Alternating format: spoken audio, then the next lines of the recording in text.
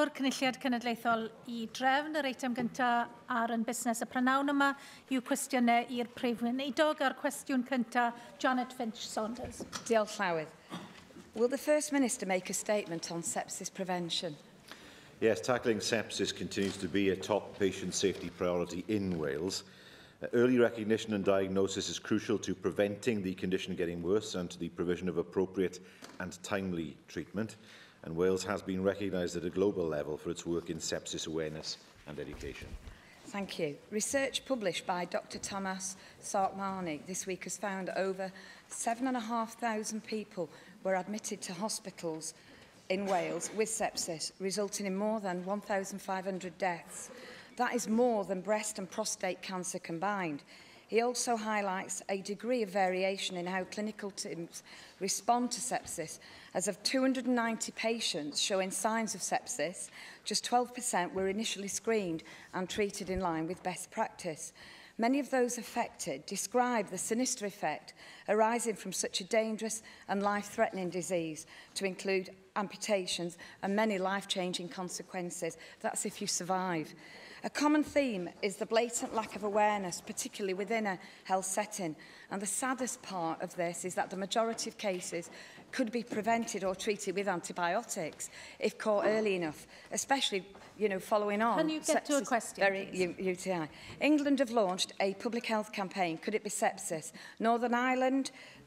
they the just say the sepsis. The question needs and to be Scotland, asked. Yeah.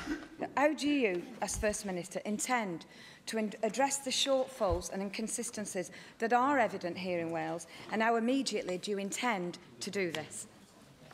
Well, we already have in place, of course, the National Early Warning Score system in every hospital. Uh, the Global Sepsis Alliance recognised the work of NHS Wales for its sepsis awareness and education initiatives at the 2016 Global Sepsis uh, awards, uh, something, of course, which we very much uh, welcome. But, of course, uh, it is still the case that many are not diagnosed in time. It's a difficult condition to, uh, to diagnose. I think that is recognised. But it is hugely important that uh, we have consistency across our hospitals uh, in terms of how sepsis is identified early. And that system uh, is something that is in uh, place and is widely used across the Welsh NHS. Rhiannon Pasmo. Thank you. Diolch, Howard. First Minister, the National Confidential Inquiry, as has just been uh, mentioned, into patient outcome and death, published in November 2015, says sepsis kills more people than breast, bowel and prostate cancer combined in the UK. The report recommends more doctors and nurses use early warning systems and screening checklists to prompt them to check for signs of sepsis. The Health Cabinet Secretary says he is open-minded about considering whether to make hospitals screen patients with victims in the same way. So will the First Minister outline how the Welsh Government can ensure the Welsh National Health ensure a universal and consistent approach to screening for sepsis? Yes, well, the National Early, Early Warning Score system is part of that uh, consistent approach. Every hospital uses it. It is a system, a simple system that enables staff to assess whether patients are developing uh, sepsis and also uh, ambulance service paramedics are using that system to uh, develop Uh, systems for screening patients for sepsis prior to arrival at, uh, at hospital. Uh, also, staff are using a standard sepsis screening to identify sepsis and instigate rapid action called the Seps Sepsis 6 Bundle. Uh, and so uh, we are continuing to, uh, to de develop uh, the work that's already been put in place over the last four years to ensure that fewer people, firstly, more people are diagnosed early with sepsis and fewer people lose their lives because of it. Caroline Jones. Uh, Diolch, Uh, First Minister, uh, with nearly 2,000 deaths in Wales each year, many of them preventable, sepsis is one of the biggest killers most people aren't aware of while educating the public to recognise the signs and ensuring steps taken in the NHS to prevent the onset of sepsis are vital. So too is ensuring that our healthcare professionals recognise the signs. Many sepsis survivors owe their lives to a GP who recognised the early onset of sepsis. Therefore, First Minister, What steps is the government taking to ensure that every GP in Wales receives training to recognise the signs of sepsis as well as how to prevent it? Well, building on what I've uh, already, of course, uh, mentioned, I mentioned the Sepsis 6 bundle. That consists of three quick tests for sepsis, three simple treatments that are proven to combat it and can help to detect and treat the illness at its earliest stages. But, of course, Uh, it is hugely important that all health professionals uh, are aware of sepsis, and indeed they are, and indeed to look for the earliest signs, although uh, it can be difficult to, uh, to diagnose and treat, particularly in the early stages. Question die, Stefan Lewis. Will the First Minister make a statement on the business rate system? Yes, the non-domestic rate system in Wales contributes more than a billion pounds towards the funding of local services in Wales. I thank the First Minister for his answer. Uh, looking ahead to uh, proposals for new business rates arrangements post-2018, is the First Minister able to give an indication his thinking regarding community sports clubs? I understand that at the moment there's a threshold of 70% of members of such clubs have to be actively participating in that club's activities to qualify for relief. It seems a very high threshold considering uh, wider plans and strategies for greater physical activity promotion, especially uh, among younger people. So I'd appreciate if, this, if the First Minister could give an indication on his thoughts on that matter. Yes, we are aware uh, of the uh, point that the member uh, makes, and it does form part of our thinking uh, to, as we uh, develop a permanent uh, system from 2018 onwards. David Rees. First Minister, many occasions in this chamber we've heard about the question of relief on plant and machinery and business rates, particularly in areas such as Tata Steel where we had the blast furnace. Has your government actually given any further consideration of looking at the relief of plant and machinery in the business rates to ensure that investment can come into the industries such as the steel industry and will not be penalised as a consequence?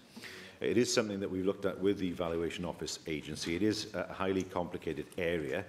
Uh, what we have done instead, of course, is to put on the table a more generous package for Tata than uh, business rate relief uh, would, would offer. Uh, so I would uh, argue that uh, what we have on the table goes well beyond uh, what uh, Uh, business rate relief on plant and machinery would be able to offer in the first place, especially given the complexities and the time it would take to put such a system in place. Russell George. Yeah, yeah. In light of your answer to me last week, First Minister, saying that you would be able to give full consideration after the autumn statement to increasing funding for support to small businesses. Um, how will your government use the uh, budget consequentials from the Chancellor's announcement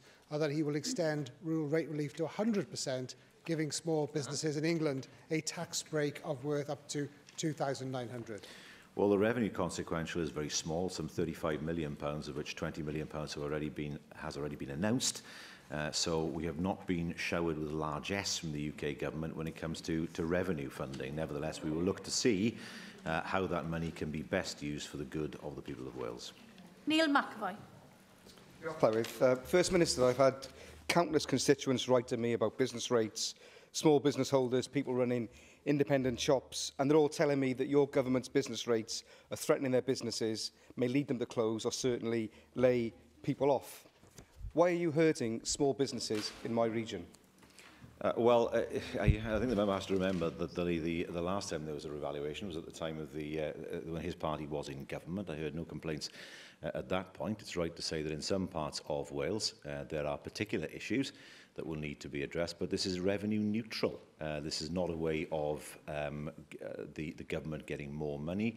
Uh, this is uh, a way of rebalancing the business rates system without there being a net gain to government. That said, of course, uh, we recognise uh, that there will be some parts of Wales uh, where things are difficult, and that's why we've already announced a transitional relief scheme of £10 million, pounds, and we will look to see what else we can do uh, in order to, to smooth the transition process.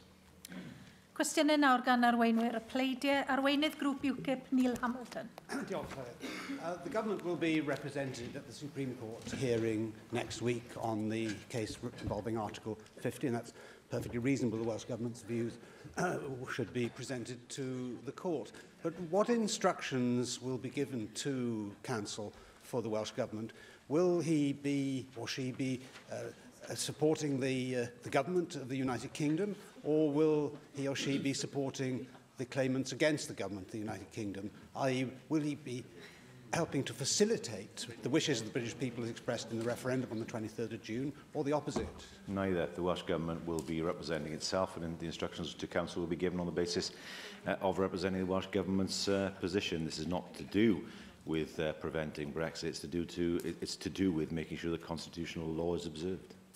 Well, there is an argument, of course, as to what the constitutional law requires in this particular instance. What I'm, what I'm trying, what I'm trying, what I'm trying to elicit from, from the first minister is on whose side is he going to be on the view which is held by the United Kingdom government or the view held by counsel for Mrs Miller, who is the applicant in this case.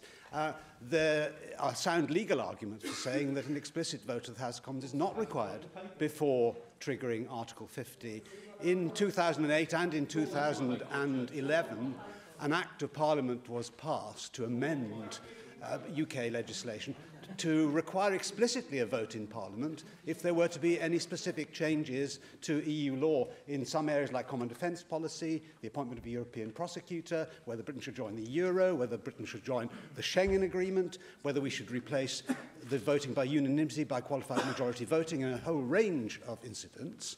In all those instances, there would be direct effects upon the British people uh, as a consequence of the decision. That's the essence of the High Court's decision. It's because of those direct effects upon people that an explicit vote in Parliament is, is required. But as Article 50 was not one of the many instances which were set down in an Act of Parliament, then there is certainly no basis for saying that in this case there is an implied requirement for the House of Commons and all the House of Lords to uh, support uh, a vote in favour of Article 50 before the government is enabled to fulfil the wishes of the British people.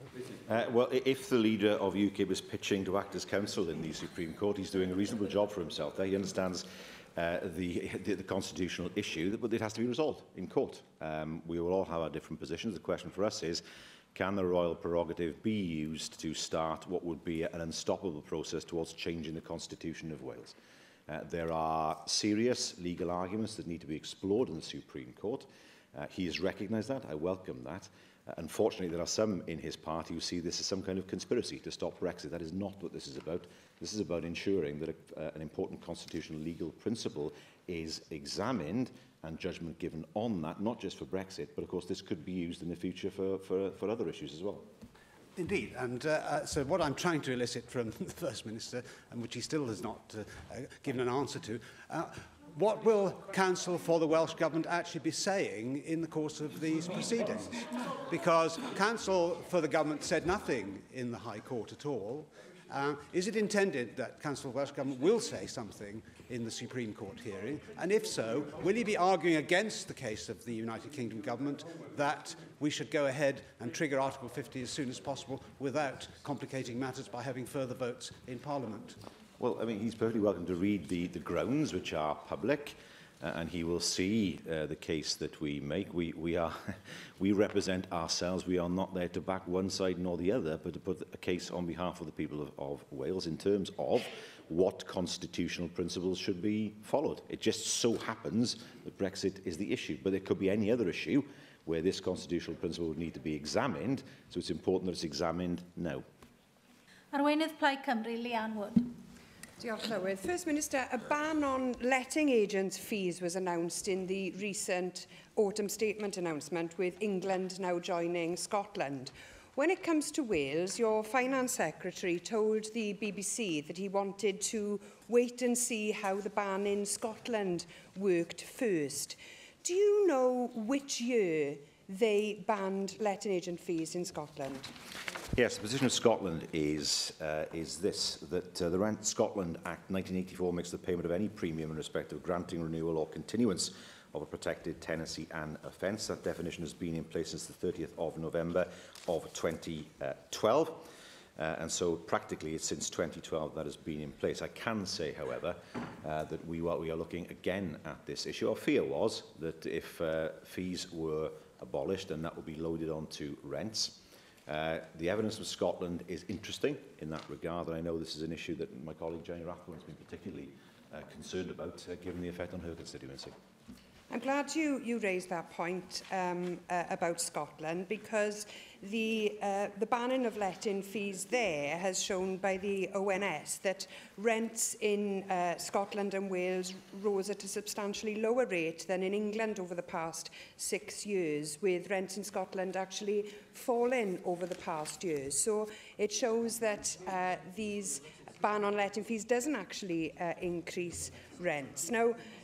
you're right, um, Scotland banned these fees in 2012, So how much longer do tenants in Wales have to wait then? I would have thought that four years um, was long enough. The fact is that you've been even slower on this vitally important social justice question than even the Tories in Westminster. Now, First Minister, home ownership is becoming a crucial issue for this generation of young people, becoming almost impossible to get on the property ladder. Getting their rent paid is now the top priority. And in the rented sector, Moving home can bring about a set of unjustified fees with Shelter Cymru's mystery shopping exercise a few years ago suggesting that it can cost up to £1,000 extra. Unless action is taken, it'll only be Wales that will have these let-in fees. I would welcome a firm commitment from you this afternoon, First Minister, explaining to us how you are going to ban these letting agent fees. Will you give us that commitment today? Uh, I can say this is something that is actively under consideration. I understand the point that she makes. It would look uh, strange for Wales to have letting agent fees while England and Scotland didn't. Uh, there is some evidence now from Scotland that the uh, effect in terms of increases, in terms of rental increases, was not as great as was feared, and that is something that will play in uh, very strongly to uh, the action we will take over the next few months.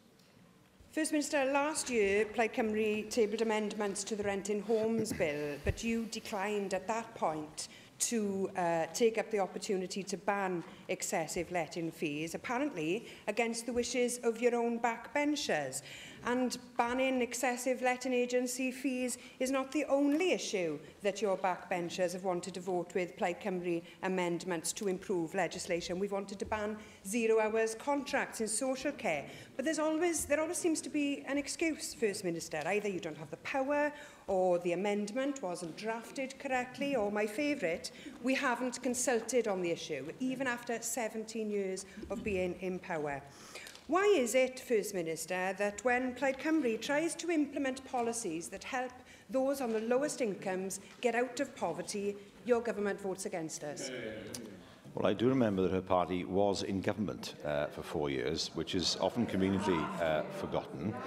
Uh, and there will be issues, the issue of contrast attached to, attached uh, uh, to the Social Services Bill, if I remember rightly, uh, was an issue. The fear was the entire bill would, would be referred to the Supreme Court. Not an issue of disagreement on principle, and not in the slightest, far from it. We're at the same place when it comes to zero hours uh, contracts. Uh, in the same way, we, have, we will revisit the issue of uh, letting agents' fees in the light of the evidence that uh, is there from Scotland through shelter. Uh, and uh, it is right to say uh, that uh, it would look uh, unusual for Wales to have letting agents' fees with England and Scotland not. Uh, the concern that we had that this would simply be added to rents appears from the evidence uh, in Scotland now to be less of a concern than before. Arweinydd y Ceidwadwyr Andrew Arty Davies. Thank you very much, uh, Presiding Officer. First Minister, if I could return to the first question today on sepsis, uh, and I'd like to commend my colleague Angela Burns, yeah, who now yeah. cha chairs the all-party group uh, on this particular issue. After going through some pretty horrendous experiences herself, she's able to bring those personal experiences to the table.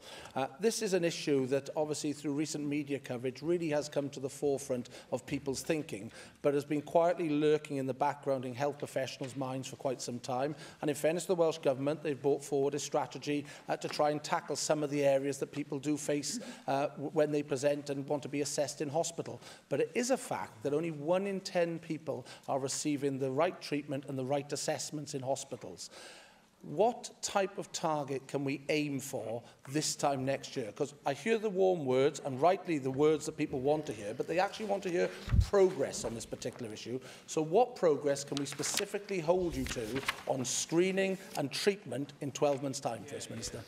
Well, it's part of the Thousand Lives uh, programme that we have to make sure that uh, more people are given uh, the chance to uh, survive and given the chance to have the right level of treatment for the illness itself.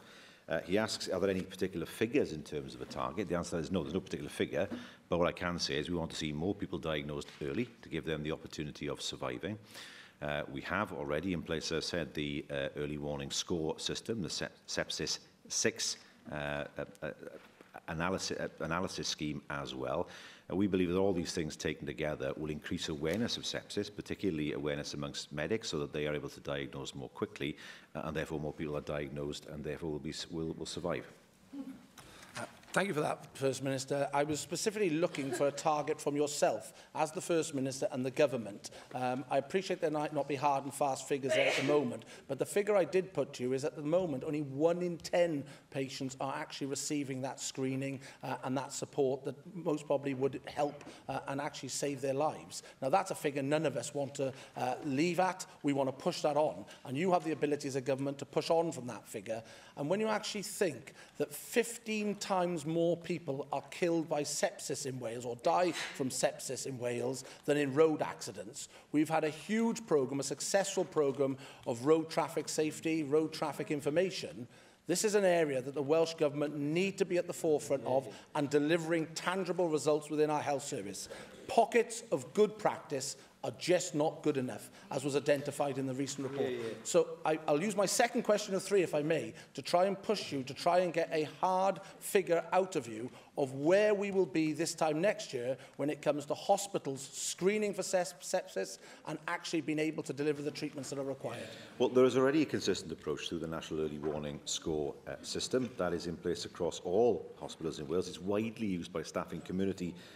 hospitals and in residential homes for the elderly and indeed in mental health services. I mentioned earlier that the ambulance service is developing systems for screening patients for sepsis prior to uh, arrival. Belindra uses uh, the system across all its clinical areas and outpatient chemotherapy units, ensuring that it meets the needs of cancer uh, patients. Uh, and then, of course, I mentioned the, uh, the Sepsis 6 bundle. What does that mean in terms of numbers? Well, we work with the UK Sepsis Trust. It's a very good working relationship. We want to see that figure of one out of 10 improve in the future so that more people have a chance of survival, and we're confident that will happen. I appreciate it. don't seem to be able to get a figure out of you today, First Minister. And I have paid tribute to the actions the government have taken so far, but it is quite clearly identified that there are only pockets of good practice, regrettably, in the Welsh NHS. I've given you the figure of 1 in 10, and I've given you the figure that 15 times more people die of sepsis than of road accidents. Uh, so I would hope that maybe either the Cabinet Secretary could make a written statement uh, to indicate where the government wants to be in 12 months' time so that we can see how open his mind is to actually bringing forward real progress in this area But one area where real progress can be made is in the recruitment and retention of doctors and medical staff. And I appreciate, again, this is a UK-wide issue, this is, and in certain disciplines it's more pronounced in other parts of the United Kingdom than maybe here in Wales. But regrettably, the Royal College of Surge Surgeons have pointed out that 40% of consultant posts are vacant here in Wales and many of them do not actually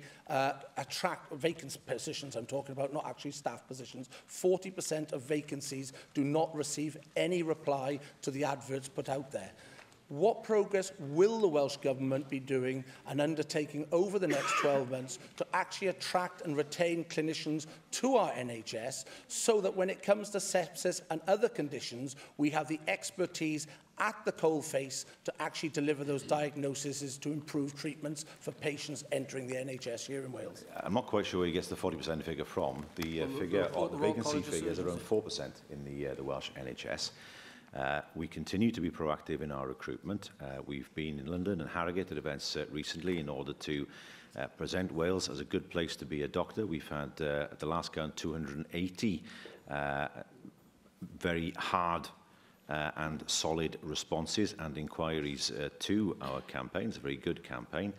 Uh, and we are confident that we will be able to uh, attract the uh, physicians at all levels and surgeons at all levels into the Welsh uh, NHS uh, to make sure that our people get the service that they require. Question 3 Russell George. Yeah, yeah. Will the First Minister make a statement on the Welsh Government's role in the formation of local development plans? Yes, the Government proactively engages with uh, local planning authorities to ensure national planning policy as set out in PPW and associated TANs is appropriately reflected in LDPs. Uh, thank you for your answer, First Minister. You will be aware uh, that the Welsh Government uh, published letters to chief planning officers which supplement uh, Welsh planning policy in Wales. Can you confirm whether or not these letters constitute Welsh Government planning policy which local authorities are obliged to follow, or whether they are merely guidance and advice which can be accepted or rejected in the formation of LDPs? Also, I would be grateful if you could set out what pressure the Welsh Government has exerted on Powys County Council in directing them to include local search areas for renewable energy schemes above and uh, above over and above existing strategic search areas across the county. Well, we have not directed Powys uh, Council to amend their LDP. Government officials have engaged with Powys County Council to provide advice and guidance on national policy, including uh, renewable energy. Uh, and including responding uh, at formal cons consultation uh, stages. councils, of course, local authorities do have to bear in mind the guidance that comes from Welsh Government, because, of course, that guidance will be taken into account when the LDP is examined by the inspector, who, of course, has the final say as to whether an LDP is accepted or not. Neil McAvoy. Um, First Minister, your, your government's role in Cardiff's LDP is to plan to dump thousands of dwellings on our countryside. Uh, Cardiff Pride will make sure that Cardiff Council passes a motion to demand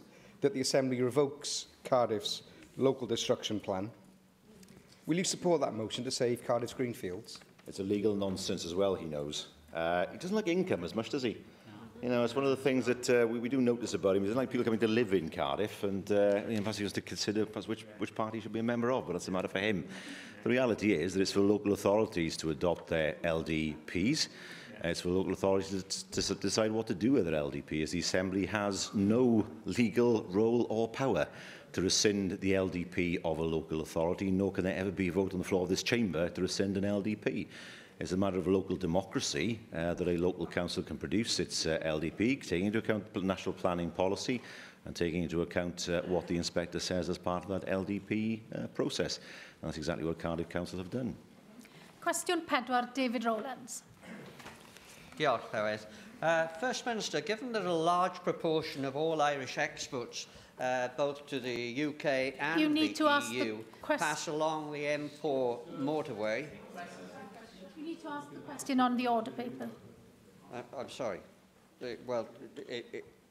I've just missed uh, two of the words or something out of it. If I, if I have, I, I apologise to Just to ask the question Minister, again. But the whole ethos of the uh, thing.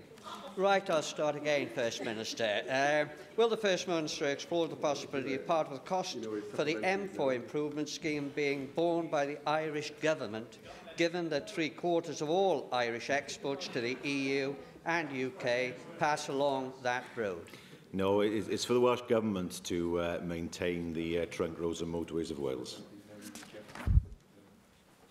Well, I, I, I thank the First Minister for the answer, but this is a serious proposition. As I understand, Ireland may be able to access funds from the Trans-European Highways Fund. Very ironic. And here I quote, and here, and here, and here I am I interested in hearing the question. Allocation principles. Although we've been investing a lot in improving transport infrastructure, there's underinvestment in many smaller I can't hear the question and, and I don't think the First Minister can. Can everybody quiet down, please? Can you ask the question again? I, I don't think... and I'll ask well, it to be... Uh, uh, uh, I want to be I, I'm, glad, I'm glad they, they realise uh, uh, what they're saying and uh, that we now can get funds uh, from the EU. Uh, Post-Brexit, of course. Uh, I shall start again, First Minister. I thank the First Minister for his answer, but this is a serious proposition. As I understand, Ireland may be able to access funds from the Trans-European Highways Fund, and here I quote fund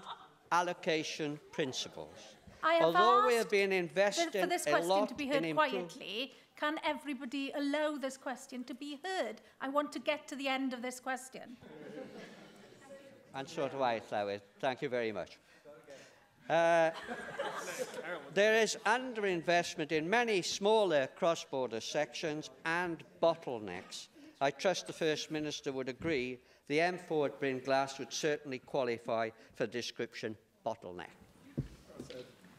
Well, um, the member seems to be urging uh, on me uh, that I should uh, urge the Irish government to apply for European funding to pay for Welsh roads. Uh, he has uh, been a member of a party and indeed campaigned in June to end European funding for Welsh roads. He cannot, I suggest, now go to another Europe, to an EU member state and ask them to make up the shortfall that he himself campaigned to engineer in the first place. There's a second point as well. We must be very careful here in the sense that, that England could turn round and say, well, you know, the M4 goes across the Severn Bridge.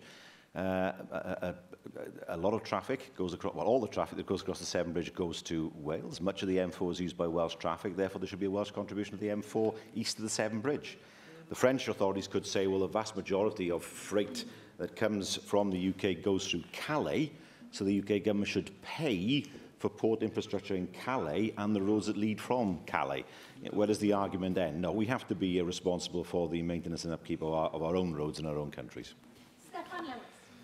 Uh, diolch, uh, Gawydd. Uh, uh, th this is a surreal question, even by the standards of this uh, year. But uh, I must say, Mr. Owens' question is reminiscent of a chap that once had a plan to build a wall around his country and bill, and bill his next-door neighbours uh, for the work. Uh, I'm not sure what happened to that gentleman. In terms of future cooperation between Wales and Ireland on infrastructure projects, um, there is a potential scope for a formal arrangement, a bilateral arrangement between Wales and Ireland through the Belfast Agreement, where uh, one or more two or more members can enter into bilateral agreements together. Will the First Minister consider a formal arrangement with the Irish state so that we can have future joint working on infrastructure projects, even mm. tapping in, dare I say, the European funding, so that we can formalise it into a Celtic Sea alliance that gives some hope to our western regions and the eastern regions of the Irish state?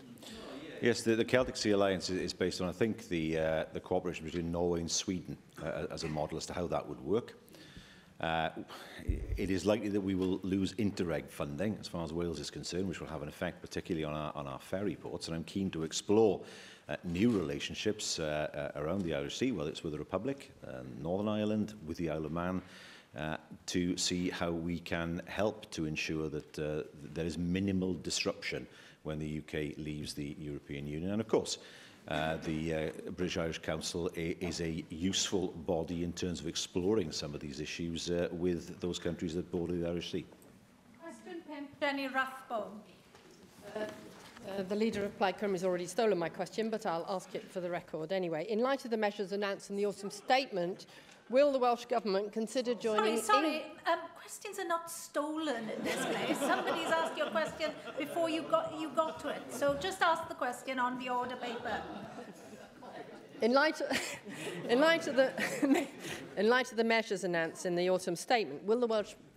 Government consider joining England and Scotland in banning letting agency fees? yes, it, it, it, it's, a, it's a matter of uh, where questions are asked, of course, uh, when these, these things uh, arise, but I, I give the member the same answer that I gave to uh, the leader of, of Plaid Cymru, which is we are studying the impact of the ban in Scotland, uh, and together with the final details of proposals in England, we will inform, that will inform any action that we uh, take. And as I mentioned earlier on, uh, I thank the member for the advocacy she has shown for so many tenants in her constituency, uh, where they have been uh, exploited over, over some years, and that is a matter I know that she uh, has been uh, very, very active in combating. On to that issue, um, I've got information that Citizens Advice say the average tenancy fee is £337. Shelter says that 15% of renters are using an agency where they've had to uh, pay up £500 or more, And Tenants in Cardiff has said that fees are around £450. Too many agents, certainly operating in my constituency, are charging exploitative levels of fees, frequently far in excess of the actual cost, and also uh, putting on hidden fees, often on people who are very young and are tentatively working their way through what are their rights. Um, you can charge £60 or more for a credit check uh, a cost that the firm will be doing for as little as £5. And the renewal fee for staying in the same property can be as high as £300 when it amounts to little more than printing off a contract to sign.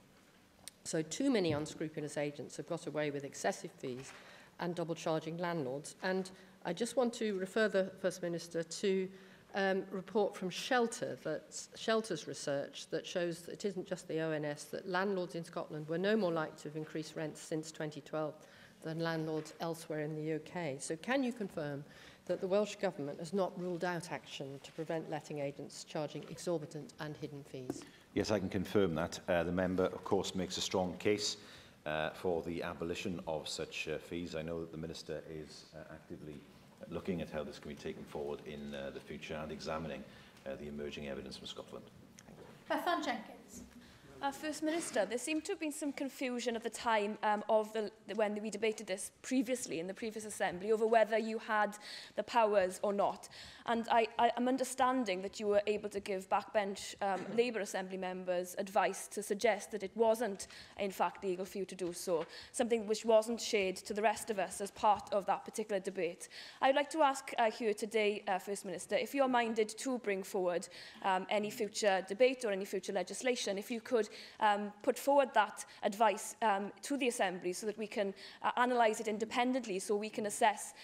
uh, the way forward because we seem to be hearing one thing from backbenchers and another from government. Uh, well, um, the, the member's not, not a member of uh, the group on, on this side of the, uh, the chamber, uh, and uh, how she is aware of what, what was and wasn't said is, is a matter of her. But what I can say is that anything is potentially open to challenge because of the inadequate nature of the devolution settlement, which is why uh, even though the opportunity hasn't been grasped properly by the UK government, we need to make sure there is greater uh, clarity. Uh, we will look to proceed on the basis uh, that we will do for the people of Wales what is proposed in England and in Scotland. The fact that the government, the UK government in England uh, I would argue has already conceded in any event that they believe this is devolved because they've only uh, talked about England in uh, in this regard uh, is something that, that is of course uh, helpful uh, to any future potential reference to the Supreme Court. David Melding. I'm First Minister, I mean, these uh, fees are something of a horror. There aren't many goods and services. We actually get charged for the process of purchase. And uh, there's clear support all around the House uh, for action to be taken on this. But these fees do distort the market. Uh, they're a disincentive to the mobility uh, of labour. And the clear experience in Scotland is that the charges would be absorbed by those offering uh, uh, homes to rent, which is where they've traditionally been. Uh, I, I don't argue against what the member has, uh, has said. Uh, that evidence uh, that uh, Shelter has produced in terms of Scotland is uh, useful and strong evidence that will inform the way forward as far as Wales is concerned. Question 6, Gareth Bennett. Um, what discussions has the Welsh Government had with rail authorities about delays to services caused by compacted leaves on the line? Well, this isn't, of course, a devolved issue, but underperformance by Network Rail in providing quality public services is not acceptable. Uh, we will continue to call for devolution of rail power so we can have greater accountability uh, for railway services provided in Wales. Uh, thanks for that, First Minister. Um, yes, I'm aware it's a problem that is essentially um, dealt with by Network Rail. Are there regular channels of communication between the Welsh Government and Network Rail? Yes, there are. Um, they, I've met with Network Rail, but the, the more regular uh, channel of communication will be between officials and Network Rail. Uh, it is not acceptable uh, that uh, services should be curtailed in this way. The problem is uh, that uh, if there are compacted leaves on the line, it's an, old, it's an old joke, but the reality is what happens is if a train skids, it can actually damage the wheels to the extent the wheels have to be reground. So actually it takes the entire locomotive out of action uh, and potentially carriages as well because of that effect. Uh, I would not want to think that Network Rail are not spending as much money as they should be doing on trackside maintenance, thus causing more leaves to fall. And that is something uh, that we will need to uh, talk to Network Rail about in order to, to rule out that possibility. Jeremy Miles. Um, the First Minister will be aware of comments by the UK Transport Secretary a few weeks ago uh, that pressing for the electrification of the rail line from Cardiff to Swansea was jumping the gun, and most recently comments by the chair of Network Rail that it was not a done deal.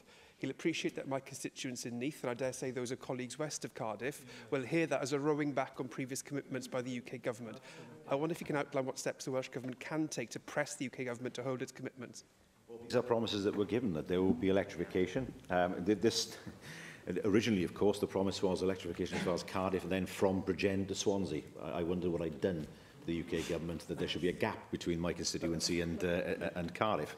Uh, in reality, it was because they failed to realise there are actually two railway lines between the, uh, between the two settlements. Uh, well, that promise was given. I expect that promise to be kept. On top of that, it is quite clear that Cardiff Central Railway Station needs a, a significant revamp in order for it to be fit for the future. Uh, and I expect to see, I would want to see uh, the UK government making the right level of contribution to uh, Network Rail's plans for that station as, as well.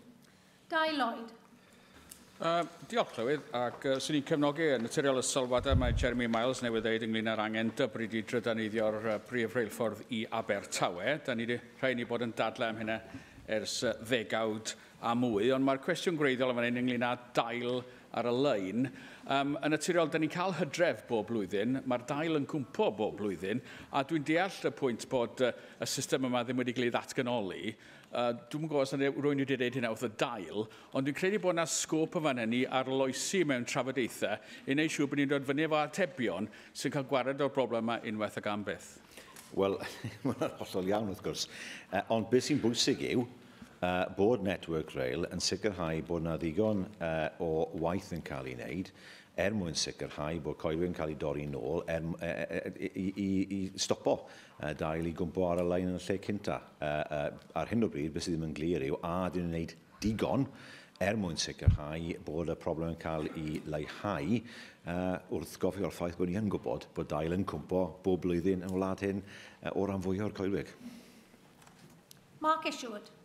Uh, Diolch. I contacted Arriva Trains Wales after disruption to services on the Wrexham visitor line at the end of October caused by lee fall and weather conditions. They replied that they've been trying to overcome the issue for a number of years and working in partnership with colleagues on the line to try and reduce the effect to their customers. They produced a paper in March of this year, supported by local user groups, bodies on the line, but unfortunately it wasn't supported by the Welsh Government. Why was that, First Minister? Not correct. Uh, uh, what, what he what he is suggesting, I oh, mean, he points out actually something that there's a weakness in the system. That is that the rail track operator and owner is, is divorced from the actual train company, but that is a system his own party put in place. Uh, it would be a far better system, to my mind, uh, where uh, the, uh, the train operating company and the rail track operator and owner were one and the same body, so one can't blame the other uh, if there are any disruptions to services. But that is a system his party put in place and want to preserve. Why wouldn't you support Question saith, Nick Ramsey. How does the First Minister plan to utilise additional funding for Wales resulting from the autumn statement? Well, our focus will be on restoring in part the previous cuts to our capital budget imposed by the UK Government and delivering our investment priorities as set out in Taking Wales Forward. Uh, thank you. First Minister, the autumn statement will deliver over £400 million pounds over the next five years for infrastructure. Uh, good news. Will you make sure that all areas of Wales benefit from this extra funding, including rural areas like Monmouthshire, my constituency, which receives one of the lowest local government settlements, but which would really benefit from additional investment in infrastructure projects and projects like the Cardiff City deal and the, and the South Wales Metro? Well, I mean, Monmouthshire is part of both projects, of course. Monmouthshire is part and an active part of the uh, of the Cardiff City, uh, Cardiff Capital Region deal. Uh, and certainly the leader of Monmouthshire has been somebody who's been very uh, proactive in uh, in moving that deal forward. Uh, and also the metro. Uh, there are opportunities for uh, Monmouthshire to benefit from the metro. Uh, particularly uh, as we look to improve bus services and possibly light rail services into his constituency in the future. Leonard Morgan. Uh, the government's autumn statement demonstrated a very blasé attitude by the Tories towards an impending uh, care crisis and their failure to provide for our increasingly uh, ageing population uh, means that there will be huge pressures now on the NHS. Will the First Minister make a commitment to work very closely with the Welsh Local Government Association to make sure that such a crisis does not uh, occur in Wales? Yes, absolutely. Uh, we already spend 6% more per head on health and social services in Wales than is the case in, in England. Uh, we never saw the sense uh, of taking money from social services in order to plug uh, gaps in health funding, which is what England did Uh, you can't divorce one from the, uh, the other, and we will continue to ensure that there is sufficient funding for both. Adam Price. Some of the autumn statement money in England is going to be uh, used uh, um, to build hyper-fast uh, broadband uh, capability through fibre to the premises isn't there an opportunity here for us in, in Wales as we, as we begin to think beyond superfast uh, Cymru, instead of uh, uh, investing in a privately owned monopoly, which is highly problematical, as Ofcom's decision today demonstrated, in creating, uh, to create a, uh, a publicly owned digital infrastructure network for Wales, something which his party leader at the UK level has recently called for for the UK. I think that's certainly worth exploring. Uh, the immediate objective is making sure that um, the current Superfast Camry scheme is extended uh, and completed in the uh, in the middle of next year. Beyond that, of course, it's right to say that we can't sit back and say, well, that's it. We, the technology will stay uh, as it is for the next uh, five years, 10 years, or the next two years. So, yes, it is hugely important to continue to invest in uh, greater bandwidth and greater speeds, of course, as far as broadband is concerned, and we'll continue to consider that.